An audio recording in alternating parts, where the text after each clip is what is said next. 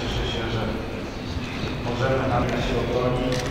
Będzie mamy nadzieję, dla lepiej czytania, do spotkań także z przedstawicielami biznesu, które to chcę bardzo mocno podkreślić, będzie nowoczesna, będzie, będzie wszystko nowe.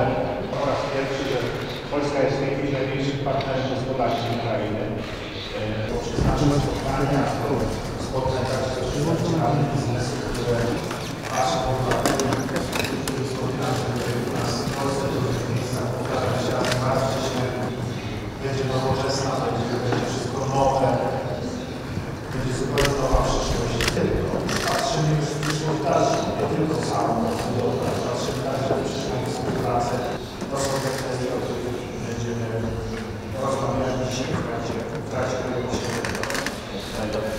Te dane jasno pokazują, że no, obrót międzynarodowy największy to jest oczywiste.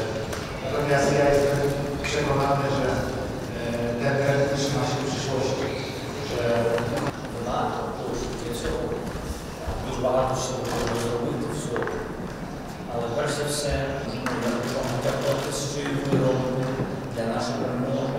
Перемоги все, що зуля каже, що мені треба всім трішки об'єднатися ще міцніше, що зобов'язаних і економічний розвиток